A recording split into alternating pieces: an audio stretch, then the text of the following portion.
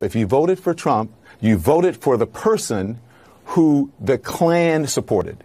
You voted for the person who Nazis support. You talked about Al Qaeda. What has he done in terms of incitement, right?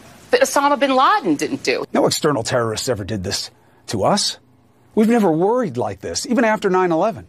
Each of these pre- people should be shamed, and they're going to go back, you know, to the Olive Garden and to their the Holiday Inn that they're staying at. I wonder if you have thought through kind of how Republicans begin what someone on my team earlier today called de-Baathification. Look, I think the challenge is that, that the, the, the rot is from the grassroots all the way to the presidency. So the rot is at every layer. There are millions of Americans, um, uh, almost all white, almost all Republicans, who somehow need to be deprogrammed. They can't even open their mouths about unity. Shut up about unity. The way that we in the media speak about this is so important. Twitter and Facebook aren't banning you because you're a conservative. They're banning you because you suck. They're banning you because you say evil shit. I covered wars abroad.